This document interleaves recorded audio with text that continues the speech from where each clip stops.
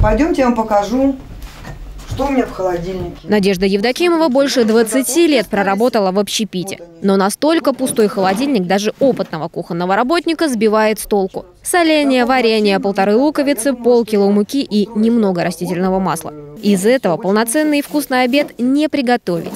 Ну, в принципе, я знаю, что у меня есть заработанные деньги, и я, у меня просто не на что купить. Кошаков кормить, коты у меня, себе даже, сыну там помочь. И вот так. Ну вот я на кухне.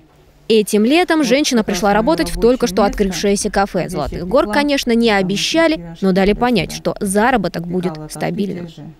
Ну, мы понимали, так как кафе открылось только, мы терпели месяц, два, пять, и в оконцовке так, то тысячу кинет, то 500 рублей, то 100 рублей. Как на них прожить-то? Когда сотрудники кухни в очередной раз затронули тему зарплаты, руководитель отказался что-либо менять. В знак протеста дружный женский коллектив покинул свои места.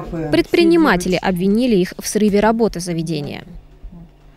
Может быть, тогда по телефону мне расскажете все-таки, что случилось? Вымогательством занимается просто-напросто, и все.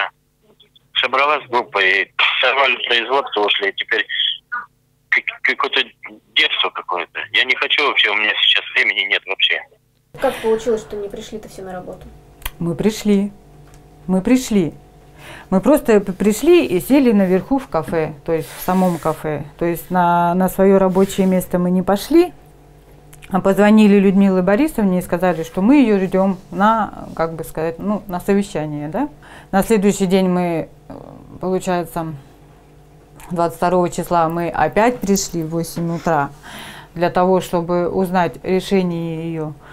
Ну, Людмила Борисовна сказала, что вы сделали свой выбор сами. Людмила Борисовна еще один руководитель кафе. С ней женщины пытались наладить рабочий контакт. Теперь честно заработанные, пускай и небольшие деньги сотрудники кафе намерены получить с помощью прокуратуры. Письмо они уже подготовили, кроме того, направили жалобу в трудовую инспекцию. Евгения Ижутова, Иван Зяблицкий. Будни. Все по разным сторонам.